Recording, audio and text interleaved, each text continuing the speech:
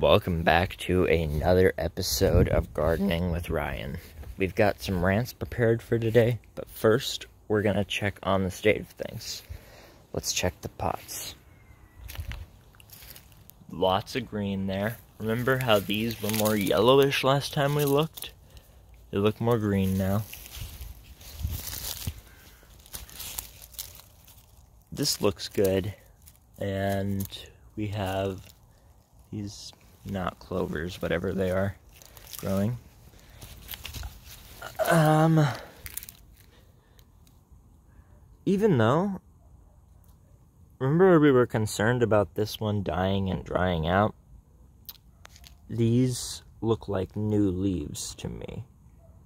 So, I think it's alright.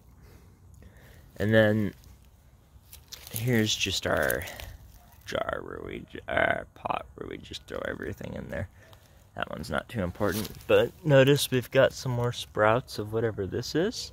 That's neat. And I'm happy to report, look at all this grass spread. It's exactly what I wanted to accomplish, but even just pop-ups like here, here, here, there. Remember I was like, this, look, it, it, it's turning green. I was like, this area is gross and see, and I can already tell that the soil started to get a little bit dry. Well, that one's still wet from when we watered it, but we had a couple hot days. You'll see right here, right there, that like there's one's. Hmm, it's still pretty wet, to be honest. But with all the look at see that's not like perfectly wet. It's you can tell that the top layer is dry. And those are have lots of pretty flowers on them right now. We got this. And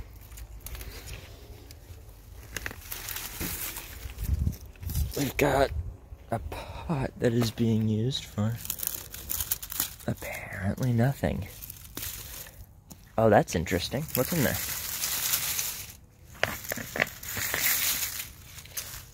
Dirt. Like really fresh dirt. Oh, there's stuff living in there. Is that a worm? What is that? You, you see the movement, guys, right? Like, what's going on in there? Ooh, this looks awesome. This is probably some really good, like, fertile dirt if worms are just, like, chilling in there. This might be like a little unintentional compost bin. Like the one we gave up on before. The question is, what do we want to plant in it? That's kind of cool.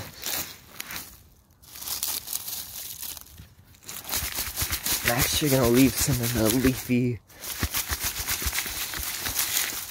Ah, no, that's just annoying. But that's pretty cool. I didn't really realize that we had that. Um, is there anything out here that's like cuttable that we don't have in this back area yet because I know the backyard has plenty of succulents. Ooh, what about this? I think it's called ice plant. Um, is that transplantable? We're gonna find out.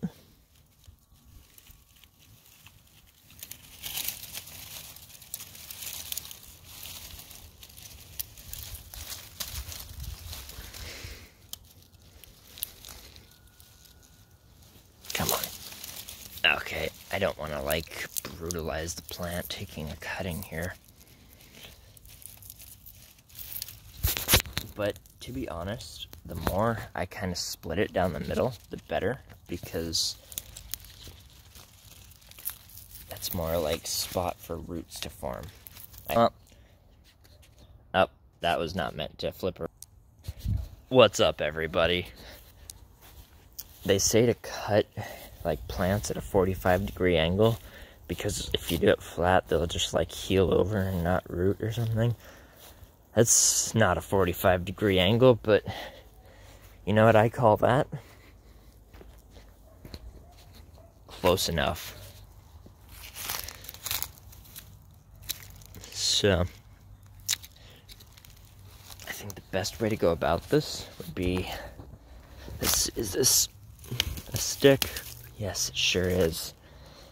See, we have a stick, and I think the most efficient way to go about this would be to poke a hole in the center with said stick.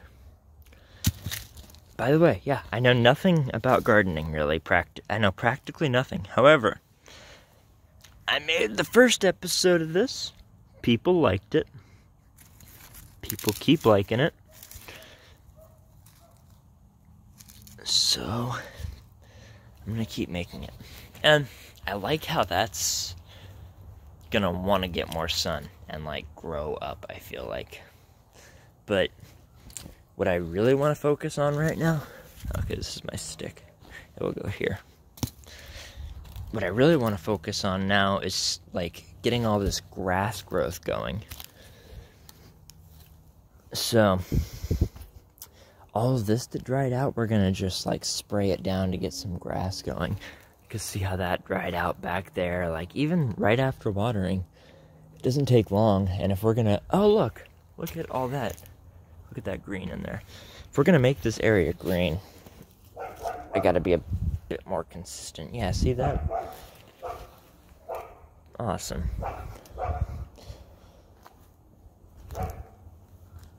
A bit more consistent about I don't know. Mainly just keeping it wet. Where should this go? It's really good over here, I think. Especially because it's not too much to show off. Yeah, I'll put it right on top of it. Mm, I want to block this. Ah, that, that's not that important right now. It's just an extension of that.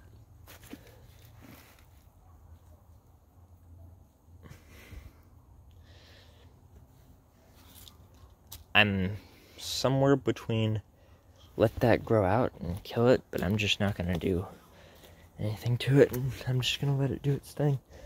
Um, I actually feel like ice plant has a really good potential of looking really nice. There's a big empty boring area right here. So it's just right there.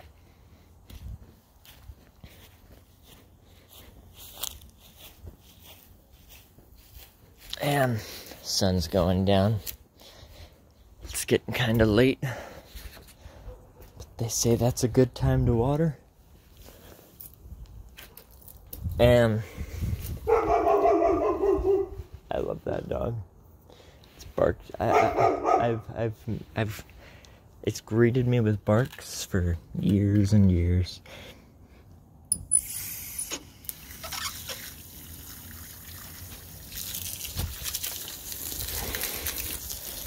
There goes the agua. Up, yep. Like usual, kink in the hose, but nice. Fix itself. You know, you gotta pick and choose your battles and dealing with in the hose I've decided is most of the time not worth it. So let's just get the uh, we don't need a whole lot of water today. We just kind of need to make everything a bit wet.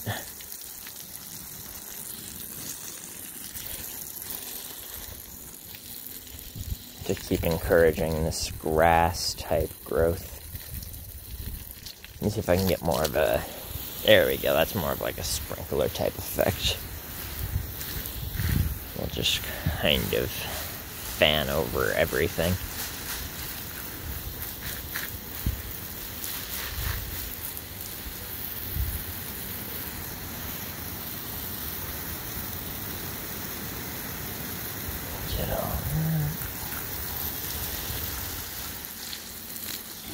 Let's get those ultra dry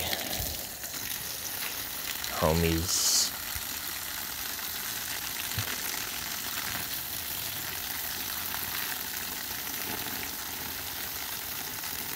This has been really relaxing, and I've enjoyed just spending time outside with plants. I know I have no idea what I'm doing, but it's a lot of fun. And if people like watching it, even cooler. But time in the sun, it feels good, it's good for you.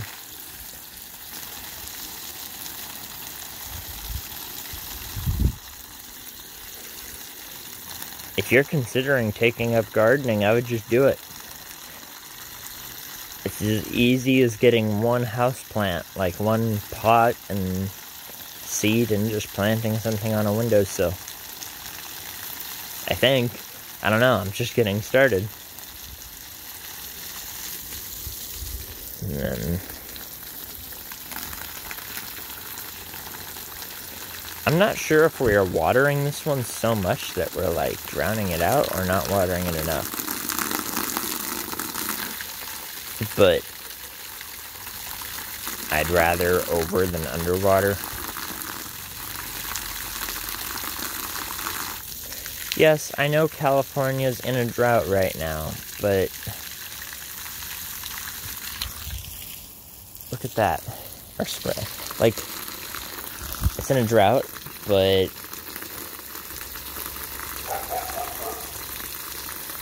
would you stop watering your garden?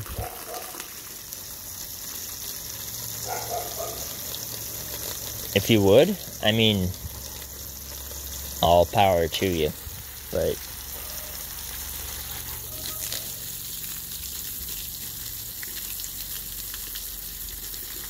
anyway, while I'm here just doing this, I'm going to go on a bit of a side rant. Many of you probably know from looking at my channel that I am a Christian. And I'm not here to go on. Okay, basically, I want to preface this by saying please don't take any of my theological opinions too seriously. I am in no way, shape, form, or measure qualified to teach on any theological matter. These are just my ponderings.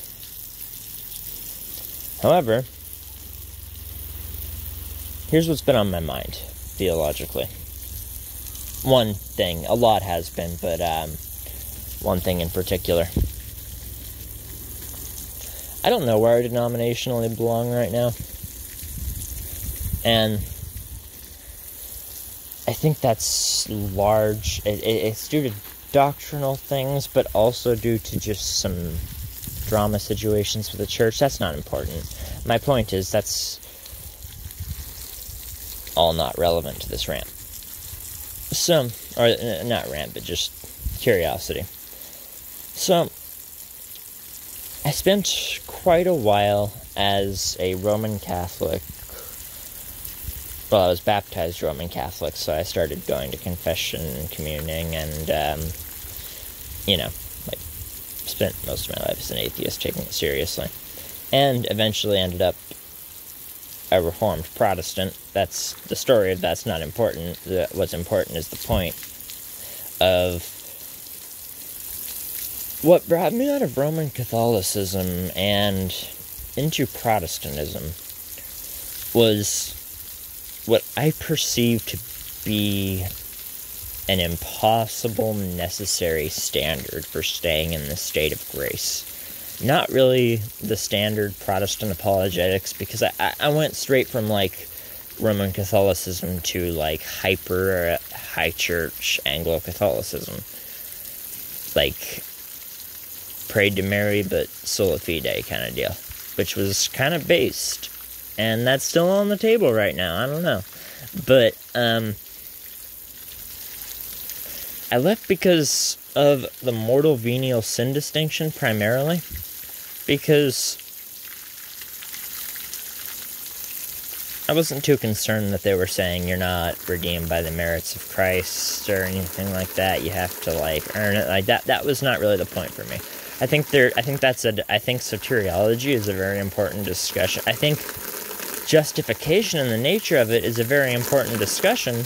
However, the difference between like ontological and forensic salvation is kind of for dweebs a lot of the time rather than the average person. I feel like either way, I started to struggle with the mortal venial sin distinction because a mortal sin, and Roman Catholics, I am so sorry if I misrepresent you here. I haven't been a Roman Catholic in a long time. And if any Roman Catholics say, no, this is what's true, go with what they say because I'm not one, nor am I qualified to speak for them.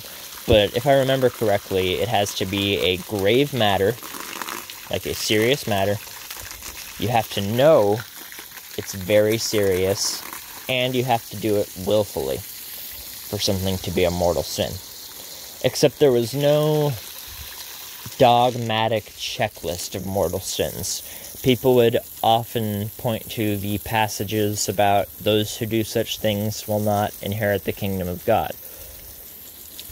And I heard from a lot of Protestants the law gospel distinction, and that was law, and that's what kind of moved me that in the Protestant way. But anyway, I was like, okay, well, Jesus says if I look at a woman with lust, I've committed adultery in my heart. And I go to the Roman Catholic sources and I see is are sexual thoughts mortal sin? Depends. Is this a mortal sin? Depends. And I remember in catechesis, and I'm not trying to roast Roman Catholicism here, I'm actually going to get to a different point. I got to catechesis and there was a big checklist of possible mortal sins. Like, that's a pretty normal thing of things that are mortal sins for confession. Well, adult catechesis for a baptized person is a little bit different. But, um, anyway. In the Protestant world, there is a lot of discussion about homosexuality in the church um, female pastors, a lot of ethical issues right now are are being discussed. Ethics in general is a hot topic in the church. And I'm just going to ask a series of questions to all of my viewers, and I think my questions will help you see where my curiosity lies. So, in the Protestant world, people often speak about evidences that somebody is not a true believer. From all stripes. The uh, conservative Protestant groups of pretty much all stripes would talk about okay, if somebody's in a homosexual marriage, I'm probably not going to commune them or make them a pastor or Okay, pastor and communion and them are totally different discussions, so forget I said that. I'm probably not going to commune them or admit them to membership. Or like the transgenderism or women in office. Those are often called apostate denominations and such. And that's the line of thought that I have historically been inclined to. This sort of conservative, well, of course, people who do these things aren't Christians. They obviously don't care. But then I started to, I don't know, dig. And I was faced with the issue of just in trying to work through these things. Where's my systematic? If I am going to draw a line between how much sin where you really mean it because okay there there are times often throughout my entire christian journey where i have sinned and known it was a sin. And where is the systematic line where a person has sinned grievously enough or willfully enough that they have not evidenced true conversion? And if that line does exist, if there is some line where a person is obviously not a Christian because they do X this often, I would think it would be of utmost necessity to systematize that theology. Because you're drawing lines between salvation and damnation. There needs to be a very clear systematic line drawn there. But I don't really see that. I, I see from different Protestant traditions a, different articulations of that. And I'm not saying, and there are Protestants that don't have the whole thing, of course, but um, I have a friend whose opinion is, and I'm not sure that I've been convinced of this opinion, but I I will say that it's it's hard to find the flaw in it. The church does not confess an ethic as an article of faith. It confesses Christ crucified. And as soon as you start drawing those mortal venial sin lines, if there's not a rule of faith for it, you end up right back in the same place of just like bouncing in and out of the state of grace every time you sin and mean it. And he would say that the whole point of the Reformation is that's the situation we've all found ourselves stuck in. So, this friend said I would absolutely commune a homosexual, but I absolutely affirm that it is wrong. So, I touched a little on ontological versus forensic salvation. Here's what I mean by that. There was a big debate in the Reformed world about if salvation or justification is by faith alone.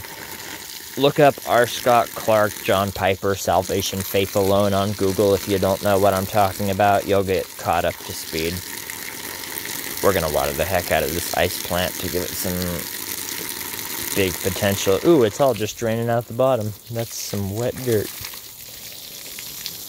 Honestly, just gonna hit this a little more, but um,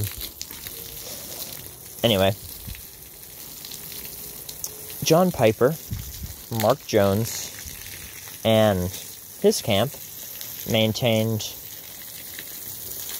that it's not right to say that salvation is by faith alone, but rather that the language of saying that justification or being made right with God, or as other people would categorize it, the state of grace, is by faith alone. Yet salvation is through works. Mark Jones came out in defense of Piper. R. Scott Clark condemned Piper as a heretic, and that being a false gospel. Now, if within the Reformed world people couldn't even agree on if people were heretics or preaching a false gospel, even people in fellowship with each other, that was a little disheartening. But the question came up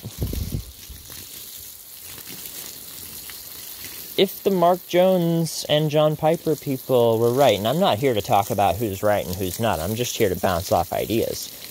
If they were right, that salvation does indeed, is indeed by faith and works, isn't it really a kind of a geeky category and something that would probably be lost on most lay people to talk about? Um, well, forensically, you are made right with God through by grace through faith, but becoming ontologically made into a perfect creation in the new Eden begins now, and you're cooperating with that. Like that's just geek vocabulary. But if works equal heaven, oh, but it's not judicially, it's this, it's this. Like, who cares? That's geek categories. So I think we're kind of presented with two options we either we can hold salvation by faith, I'm not saying throw it out. I'm saying there are two. Uh, there, to me, it seems, and my opinion should not be taken seriously on theological things. I'm just rambling because this is just what's on my mind. And when I do this show, I talk about what's on my mind.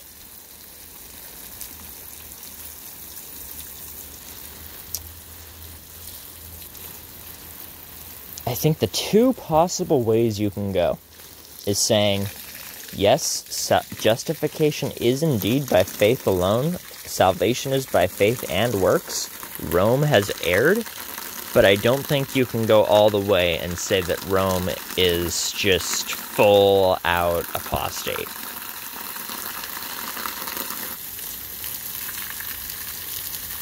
If you hold the other claim that salvation is indeed by works. I don't think you can I don't think you can say the gospel was saved because we figured out that the the forensic part of salvation or the legal part was by faith, but the uh, substance part was by works. And now that we have these geeky categories all lined up and our Ordo Salutis is perfect, we have everything saved. I don't think that's a consistent narrative. I think it's fine to say the Roman Church was in severe error and this was corrected. But to say that, oh, they were just like total apostates, false church because of work salvation, that seems inconsistent. And I think the other option that the other path that can be taken, it seems, and feel free to leave any thoughts anyone might have you might have. But the other only consistent thought if you are going to go full on Rome is apostate, none of salvation involves works, that's anathema, all that. The consistent thing would be it seems well to just say that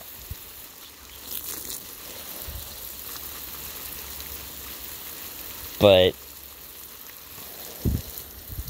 and, and stop there you know? Like i think there's a consistency in that. However i think there's an inconsistency there even for people who hold that position because okay reform people who are on the clark side of this Go survey your favorite theologians and see how many said that sanctification, which is part of salvation, is by works. I'm not saying they're wrong in this video. Eh, there may be videos in the future where I talk about who I think is right and wrong, but that'll probably be when I feel much more secure in my theology. This is just me ranting about inconsistencies and problems I see from a lay level of practical issues of where's because I've always struggled with scrupulosity uh, and you know, have if you are going to say there is a line where if you sin this much you're not a Christian I, I, I'm just inclined to think that that needs to be really explicitly drawn where that is, like really explicitly. Because I mean, if it's the line between life and death, and the other side would say, well, do you believe?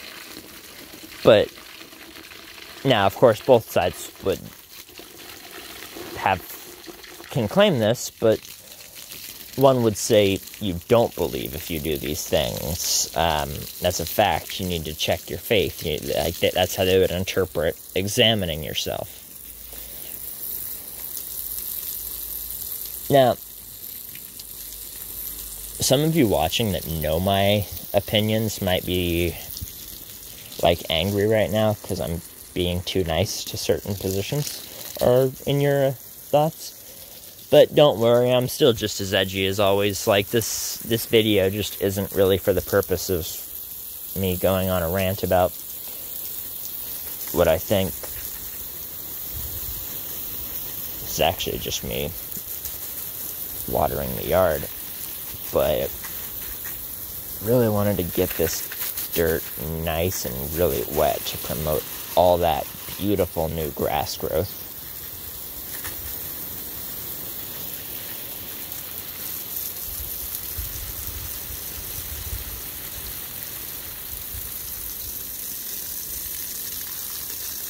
Anyway, bummed I didn't make it to church today, but like it's my fault.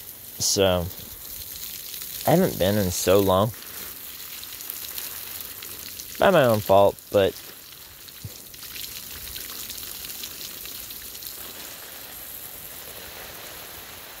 that's also not the topic of this video. And that's also one of the reasons why you should not listen to me as a theologian. If you want to know what the Bible teaches, ask your pastor, not me, man. Like this is this is this, this is for theology dweebs to talk about. This is I just don't want anyone to get the wrong idea that I'm like coming on here to be like, "All right, everybody, I'm here to teach you about the Christian faith and what's true and what's not and fight denominational wars." even if I was, I'm not ready or qualified yet. So,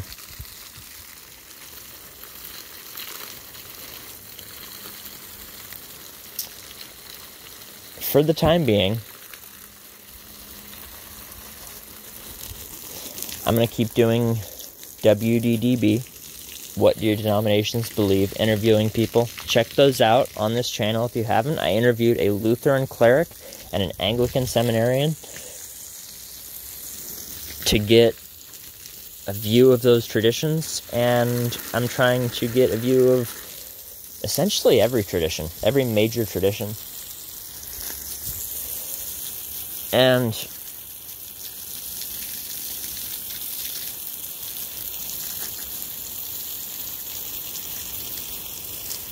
Well, I think it'll benefit a lot of people because I want to know what traditions believe, and even after joining traditions, sometimes I don't know.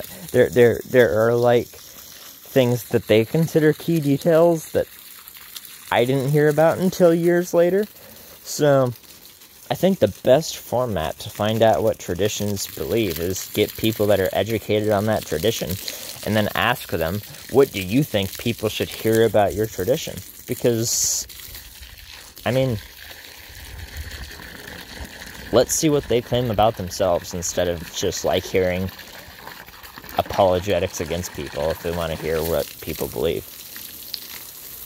That reminded me of a fantastic podcast episode I listened to of um, my friend uh, Connor Longafee's uh, podcast, where he is covering Anabaptist theology right now.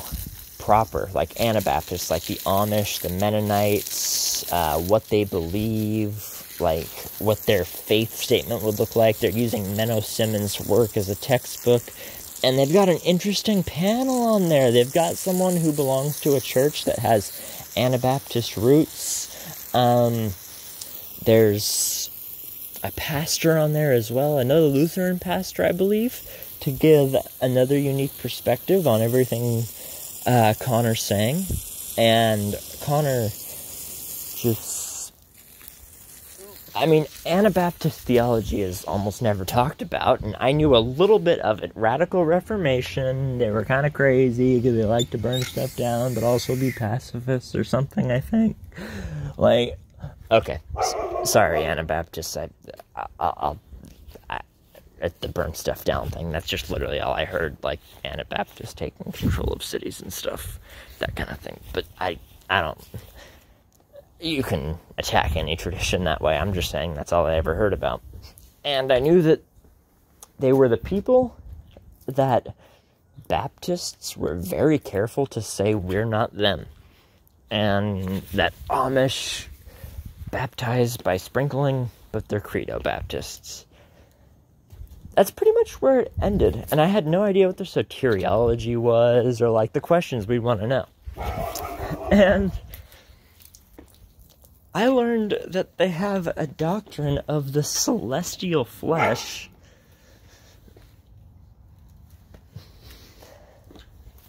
Meaning that Connor explained it better than I did, but I guess in uh,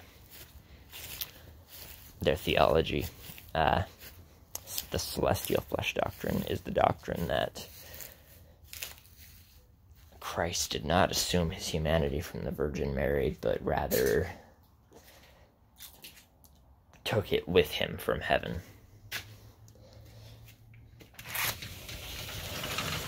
Heading inside the house now. Yeah. I'll close this one out. Up, oh, a light. Perfect. Thanks for watching this episode of Gardening with Ryan. I'll see you guys on whatever the heck I make next.